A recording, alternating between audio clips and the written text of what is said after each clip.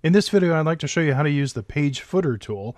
Now, if you've watched the page header tool video, this is a simple follow-up to that because in this particular demonstration, I created a header, which you can see up here, and now we're going to create a footer using a similar tool uh, called the page footer tool. So I'm going to scroll down to the bottom of my canvas. In fact, I'm going to move the camera down so you can see what I'm doing down here.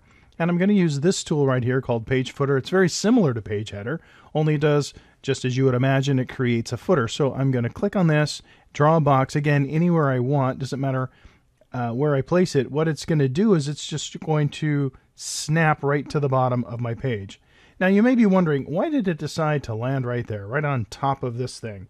I don't want it to cover that up. Why is it doing that? The reason it's doing that is because it knows it's a footer. And so it's always going to live at the bottom of the page. And the bottom of this page is determined right here. If you can see that my ruler ends right there.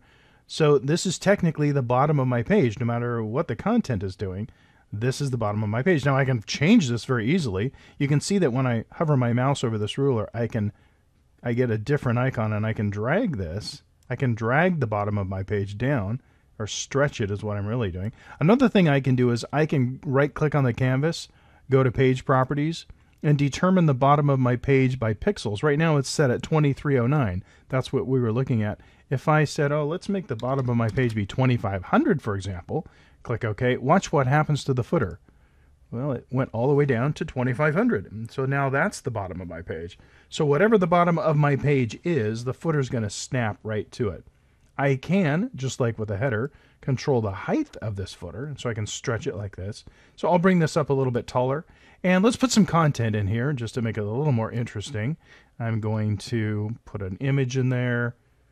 I'll put some text next to that, and I even have a, a simple text menu that I made that I'll put down here.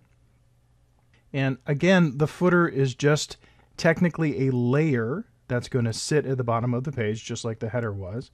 Let's move these things around and tighten them up a little bit. Looks a little better that way. Okay, and again, we would double click to bring up the attributes of the page footer. We're using the default mode, the alignment's left. I like center, so I'm going to do that. I am not going to synchronize animation with the page header because my page header currently doesn't have any animation, so this won't really matter. But I'm going to click OK. F5 to preview it. And because my camera's down low, let me bring the browser down here so you can see what's happening. So we're looking at a website. Then I'll scroll down to the footer.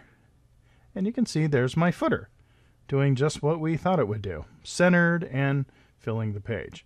So now let's close this and make some changes. I'm going to double click on the footer.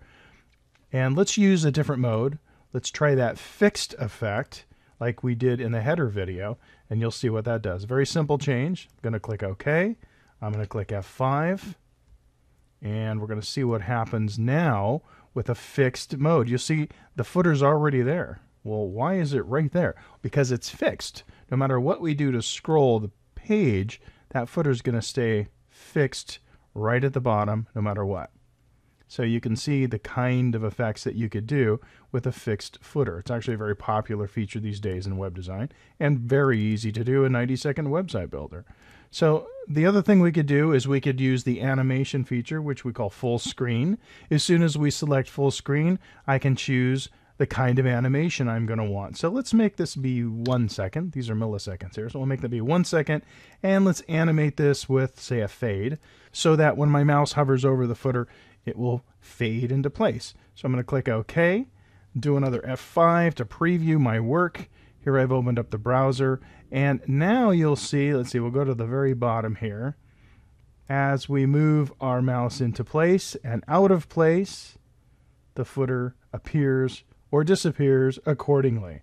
And this is what we call a full screen footer. Again, we could do that with the header as well, and we can synchronize them, but in this case, for demonstration purposes, I'll just leave that alone.